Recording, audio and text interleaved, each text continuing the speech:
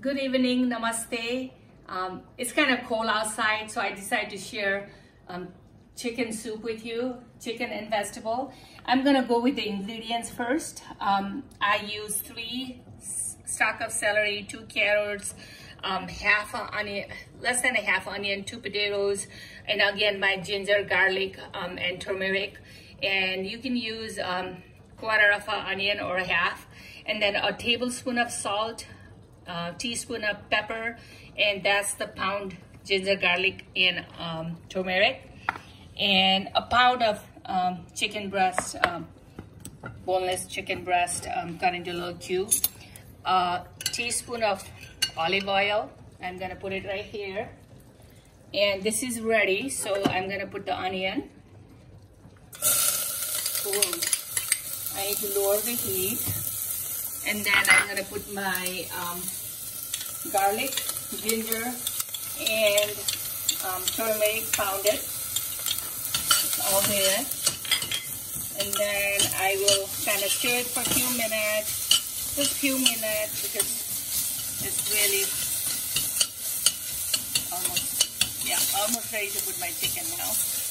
I'm gonna put the chicken right here.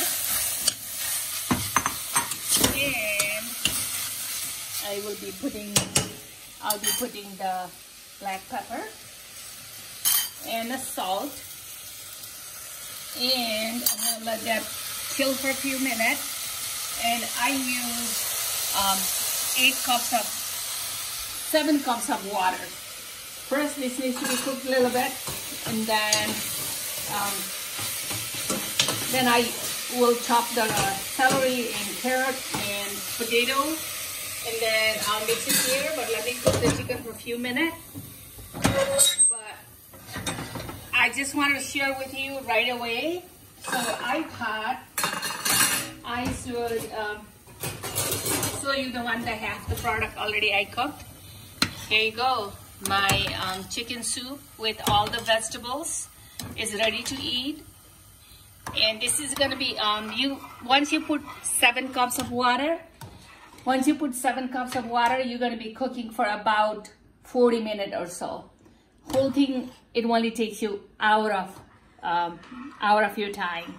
And I'm always thinking that we spend so much time on doing you know, watching movie, talking to people, gardening stuff. Why not something you're gonna put in your body who's gonna heal you, who's gonna make you feel good, which, which will, you know, give you energy to do all these things. Why not spend time making something healthy for you and your family? That's what I want to share with you. And I, I like to use all, as much as possible, organic and all um, fresh or frozen. You can do fresh or frozen. Um, namaste. Enjoy and you can have it with bread, rice, any way you like your soup. Namaste.